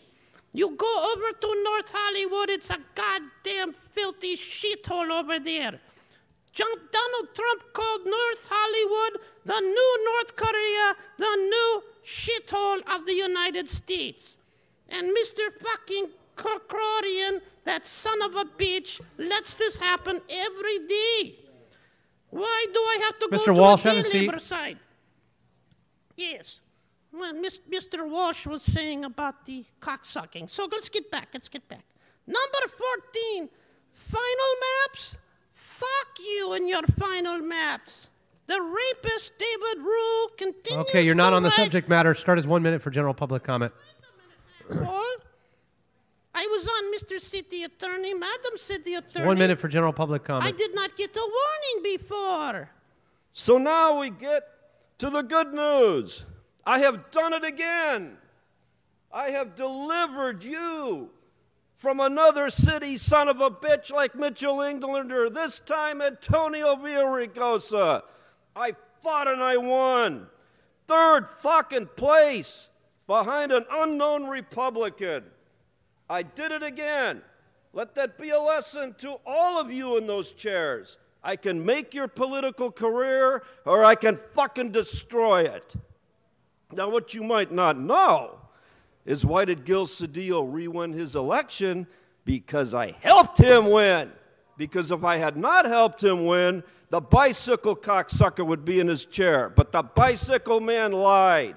And finally, Jim Burkhart, that fat buck working for Paul Koretz, was fired by Antonio Villaraigosa before the election. We win again. Time is up. All right. Antonio? Minute for item 13.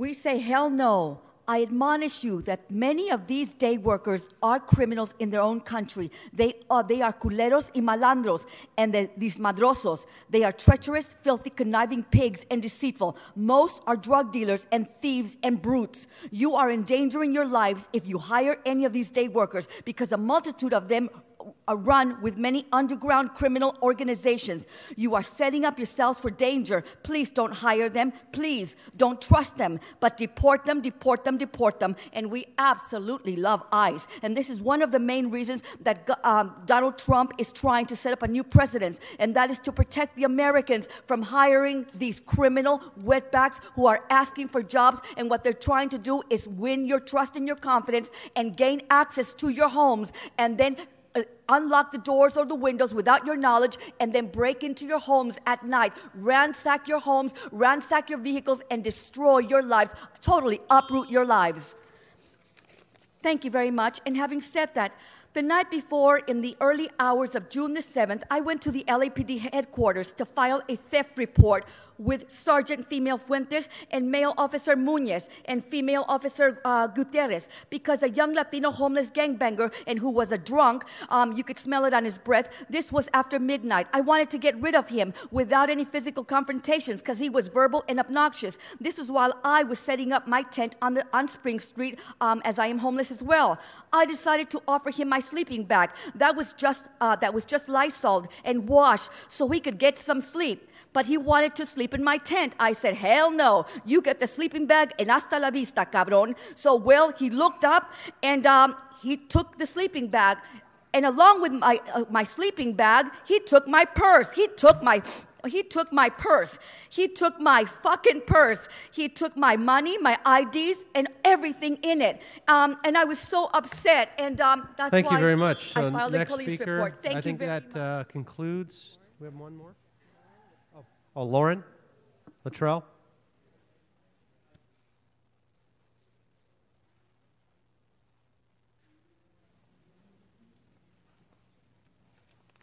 Can I comment on number one and then general? Hello? One and thirteen and fourteen. And then a, I don't need 13 or 14. Just just general public comment. Okay, one minute for general public comment. One in general. Uh, my name is Lauren Littrell, and I'm with, um, or I live in uh, District 12, and I'm getting used to speaking before you. It's really intimidating. I can't imagine how hard it is being in your spot with all that responsibility. Uh, one of the things that I startled me a little bit was I didn't see notice of. Uh, of the fact that a lien would be put on these people's houses. And I feel that that's a bit unfair. They going into it, you know, thinking it's a thousand dollar fine or, whatever is much different than um, than having your whole house taken away from you. And they were stale, like 2014 and 2015 violations. So I don't understand why current actions are being taken for stuff that's really, you know, years ago. They should have taken care of it then. right now it's almost like a sneak attack to make them. All right, for the general. Thank you very much. No, that was for the general public comment. That's what you said you wanted, right? Oh, well, so you were speaking specifically on that one item on the liens. Okay, we'll go ahead and give you a minute for general public comment. Um, I just want to say a poem, and it's called Ba Ba. I'm sorry, it's called Resources. Ba Ba. Hey there, sheep. For me, So, ma'am, you. it, it's got to be only items pertaining to General? General has to be items pertaining to this body, to, to this elected body, under our purview. Not reading poetry, or we appreciate it, but it's items that are specifically under our purview only. I didn't know that. Do you have a code? Right? Is there a code to Yeah, back that yeah, up? it's all written. It's all written in Where? the council Can I rules. look at it's all it? posted in the back as well. Yeah, it's posted on every agenda. It's all the posted rules. in the back? Yeah, you can pull up the council rules. Where? Um, the city attorney can. Uh, we'll have somebody speak to you on this item. Okay. Okay. Thank you. All right. Um, we can go ahead and vote on the remaining items, please. Mr. The President. sergeant will fill you in. Okay. Item number 1A, there is uh, the Department of Building and Safety request for item number 1A to reduce the lien to $631.06 uh, due to partial payments, reduce item 1B to $623.28 also due to partial payment. C reduced to $179.06. E reduced to $955.25 and to continue all four liens to July 3rd, 2018, sir. And the rest of the items, that would be 1D, 13, 14A and B, the council can vote on, sir. Okay. Thank you very much. Excuse me for one second, sir, at the podium. Did you did you have your? We're good. Okay. Okay. Okay. Um, so we'll go ahead and vote on those items. Open the roll, close the roll, and tabulate the vote. 13 ayes. Okay. And um, any other items? No, sir. Okay, we do have uh, Ryan for general public comment for one minute.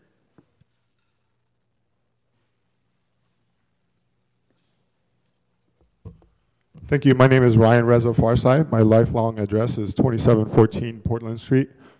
I'm a member of Beta Theta Pi. My president was Dr. Stephen Sample. I'm here to step up for Dr. Max Nikias. I want to thank the opportunity to speak this Friday morning. Dr. Max Nikias served as the 11th president of the University of Southern California, and he just stepped down. I want to thank him. I'm a Trojan. He did a wonderful job. It's unfortunate our recent Board of Trustees president, who's a builder, doesn't like the student campus or whatever. Maybe he's going to a different direction. I also want to invite the kid from Akron, after he loses to the Warriors, to come join the Lakers. We need a we need a we need a mentor for our young Dookie, the Blue Devil. He's All right, se- sir, he's uh, sir, got a seven thank- foot thank- wingspan sir, sir, and he you gotta- needs a mentor. You got to speak to only items under our purview. Yes, sir. I am the spirit of Dr. Buss. We need Thank you the very from much. Akron. Okay, thank, Thank you. Your time is up. Okay, we'll go ahead and recess and go into the special meeting. Uh, Mr. President, I'll call the roll. Uh, that is Blumenfield, Bonin, Buscaino, Cedillo, Englander, Harris Dawson, Huizar, Koretz, Krikorian, Martinez, O'Farrell, Price, Rodriguez, Ryu, Wesson. 13, 13 members present in a quorum, Mr. President. Items 16 through 19 are items for which public hearing has not been held. 10 votes are required for consideration, Okay, sir. we'll go ahead and uh, open those for consideration. Open the roll. Close the roll and tabulate the vote. 13 ayes. Okay, then those items are before us. We have cards on all those items. Yes, sir. Okay, so we're going to go ahead and bring up the cards now.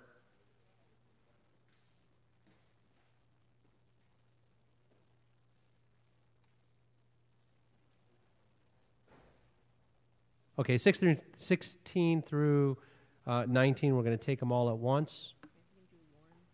Lauren, again, if you want to come on up. You got us. You're good? Okay. Sean?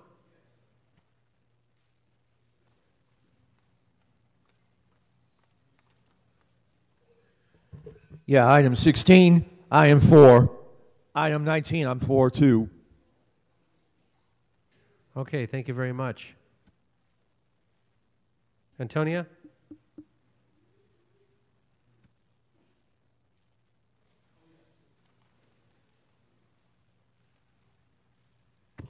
Now, ladies and gentlemen, what is still not clear here, and it's ambiguous and it's vague.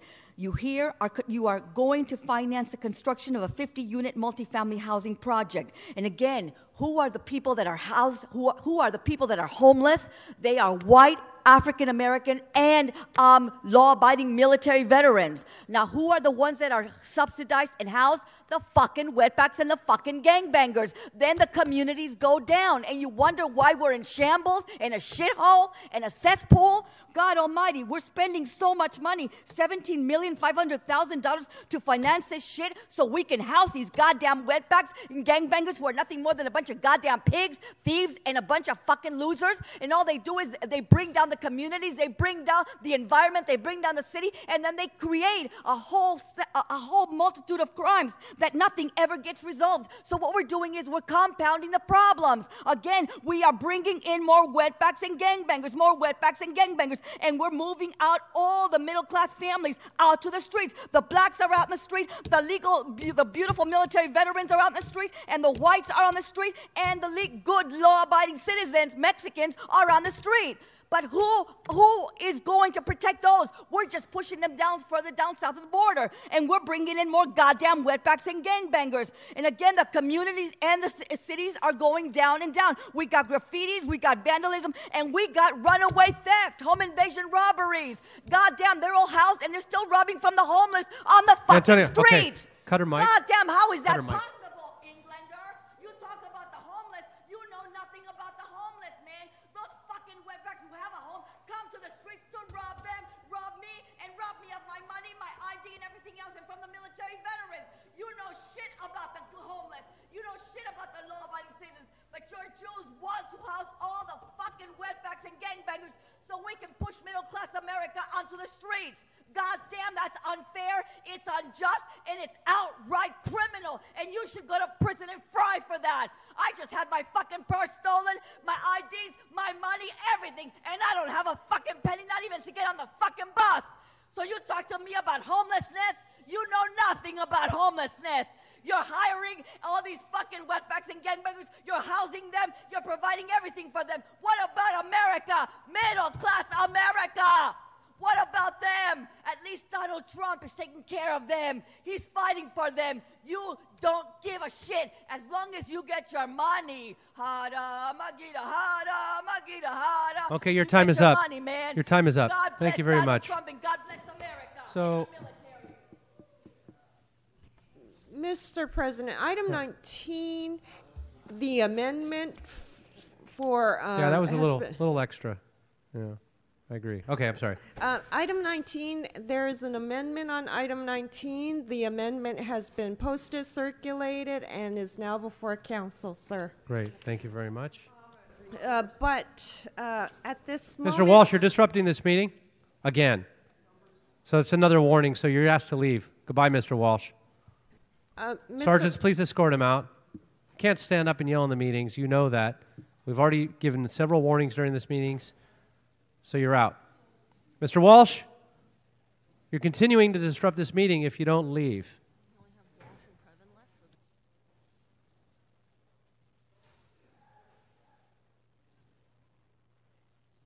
Eric Preven, come on up.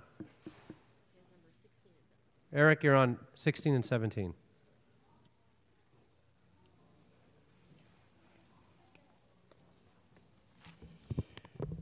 Thanks. It's Eric Preven from uh, the CD2 area and the 3rd District uh, Supervisorial District.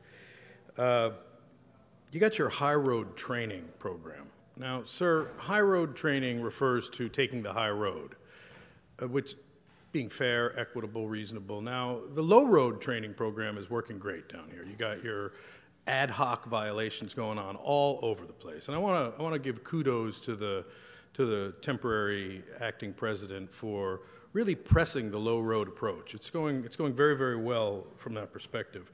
From the perspective of uh, high road partnership, where we allow the public to speak on, for example, item 9 and 9A, where you amended from 348,000 down to 220,000, the little cha-ching for outreach at the neighborhood council level to the clerk, it's a big red flag because we asked the clerk who's charged with curing and correcting and reconsidering these items on the Mr. President, the speaker is not on the agenda. Yeah, item. once again, not on the agenda. So you know what? Um, high road partnership. That's your partnership, time. buddy. High road partnership. Your Sit time's down. up. Sit down, Your, your time's up.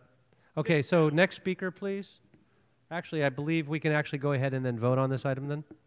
Uh, The remaining Mr. items? President, that would be 16 through 18. Okay, we'll go ahead and open the roll on those items. Close the roll and tabulate the vote. 13 ayes. Those are approved. And uh, item 19 as amended, sir? Yes, we'll go ahead and open the roll on that. Close the roll and tabulate the vote. 13 ayes. Okay, that is approved. Uh, Mr. President, there is a request for urgent forthwith for 16, 18, and 19, and that requires us another vote, sir. Okay, we'll go ahead and open the roll for the ur- urgent forthwith. Close the roll and tabulate the vote. 13 ayes. That's approved. Um, Mr. President, would the council like to go into special meeting number two, sir? Yes, please. Um, I will call the roll. Blumenfield, Bonin, Buscaino, Cedillo, Englander, Harris Dawson, Huizar, Koretz, Krikorian, Martinez, O'Farrell, Price, Rodriguez, Ryu, Wesson. 13 members qu- uh, present and a quorum, Mr. President. Item number 20 is an item for which public hearing has not been held. 20, uh, 10 votes are required for consideration, sir. Okay, we'll open the roll for consideration. Close the roll and tabulate the vote. 13 ayes. Okay, next items, please. Oh, actually, we've got to go ahead and take those items now. So we have cards on those items. Um, yes, okay, so Antonia. And as you're making your way up here, Antonia, on this item, I'm going to tell you if you yell again into the mic because our interpreters are complaining, then we're going to cut your time. So you can speak, but don't yell. So, in other words, we have to be robotic to please Mitchell Englander. Is that what you're saying? We have to. You're not on we- topic, and you're gonna cut your time if you're not on topic. We are regulated in speech. Whatever you say. Okay, your time you- is up. You're now whatever- disrupting this meeting. Have a seat. Have a seat. You're disrupting this meeting. Okay. Sergeants, please escort her out for continuing to disrupt this meeting. Thank you.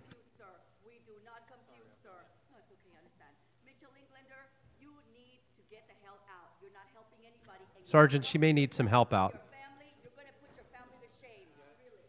You're out. Thank you very much. Next speaker.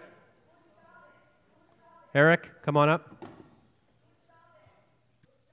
She's continuing to disrupt this meeting.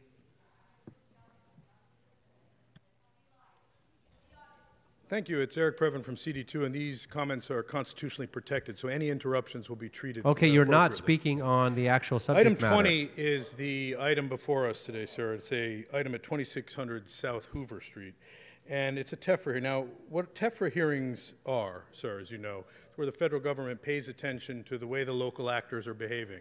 And when we see violations or when we see problems, we act strongly sometimes. Sometimes we you know, put in someone like Eileen Decker who worked with the mayor and nothing happens. But we're working on those transitions to hold accountable the folks who are having the hearings, holding the hearings, and behaving in the ways that you're behaving. You know, in my opinion, you've really crossed the line. We need to look into a 5250, Buscaino. Do you know what a 5250 is for? Okay, for you're the not on the subject matter. Yeah, You've well, gotta look, it look up, on sir. the subject matter. 5250 for Englander. Thank you. Sean.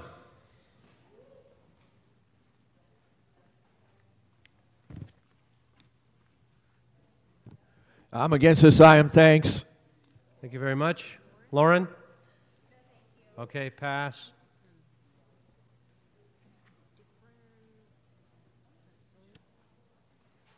There a Sassonian here to speak? No? Okay. All right, so um, Wayne, you're continuing to disrupt this meeting. So this is your third warning now, so now we're asking you to leave. So have a nice weekend, Wayne. You know, you're disrupting this meeting. Do not walk up to the podium. You're disrupting the meeting. Sergeants, if you could please escort him out, please escort him out. Thank you very much. You're gone. You're continuing to disrupt this meeting. Wayne,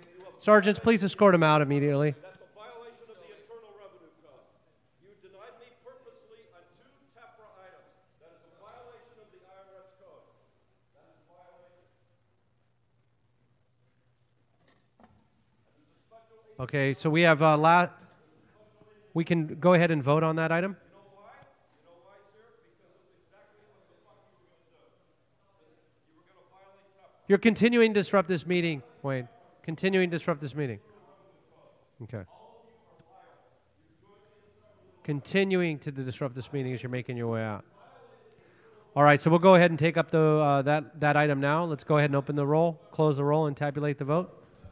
13 ayes. That's approved, so we can convene Uh, the special. Mr. President, there's a request for item 20 to go urgent forthwith. Okay, That we'll go ahead requires and a open the vote. roll for the urgent forthwith request.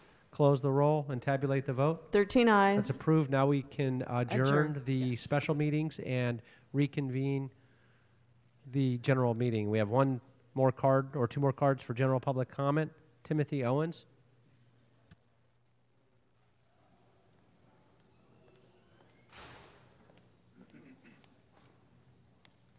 Uh, good morning. My name is Timothy Owens. I'm a veteran of the United States Marine Corps. I volunteer. I teach homeless people and veterans how to use computers. Mayor Garcetti wants to end homelessness, but there's one problem. There's no employment skills training available on the internet. Workforce Development Department, Employment Development Department, LA Housing Authority, they all provide wonderful job training centers, but there's no training on the internet that's available. Homeless people and families, they live in their cars, their RVs, shelters, motels, and apartments. They have access to the internet, but many times they cannot get to the job training centers. These families need to know how to create a resume, how to go online, and how to job search and apply for a job online. My company offers this training, jobtraininginthecloud.com. Uh, City Council, I just ask you to please fund this training so that it's free access to all the residents of Los Angeles. We can beat homelessness, and I certainly appreciate your time. Thank you. Thank you very much, and thanks for your service to the country. Jacqueline Richardson.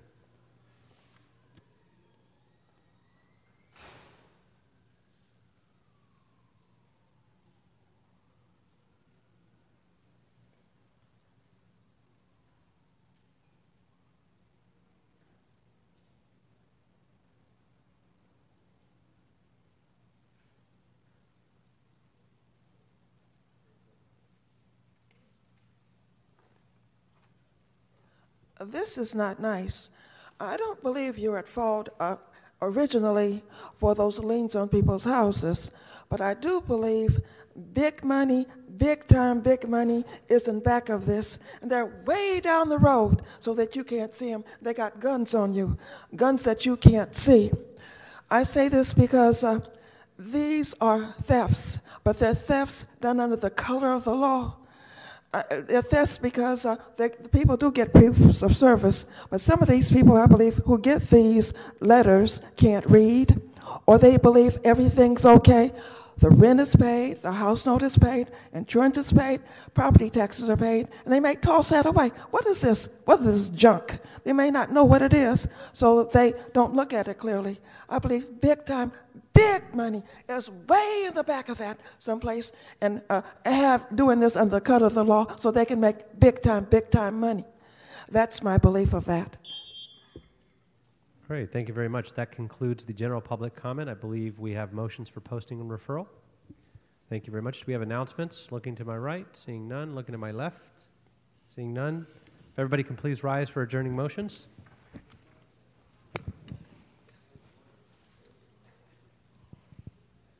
Looking to Mr. Ryu's side of the horseshoe. We have adjourning motions, colleagues, seeing none. To my left, seeing none. I do have one adjourning motion. Colleagues, I ask that, uh, with great sorrow today, that we adjourn in the memory of a dear friend, a friend of our office, a friend of the community, and somebody who's done a lot.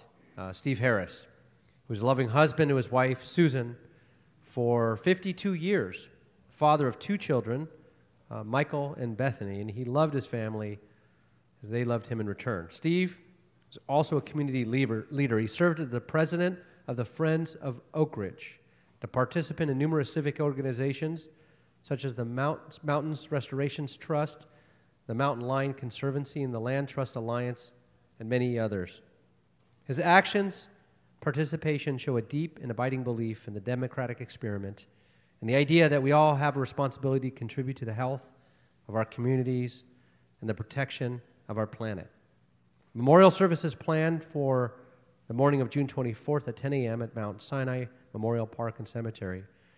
Um, I'd like to offer my personal condolences to Steve's family and um, let them know that his contributions to our community have been vast. Uh, he has been a true leader where he got on a board or any organization, he quickly became the lead and the go to person to get anything done. He was certainly always opinionated and um, thought outside the box and was a visionary. Uh, and because of him, we are certainly better off today, and he will forever be remembered. May Steve Harris rest in peace. Thank you. Uh, I believe that concludes this council meeting. We are adjourned. Have a great weekend and be safe. Thank you.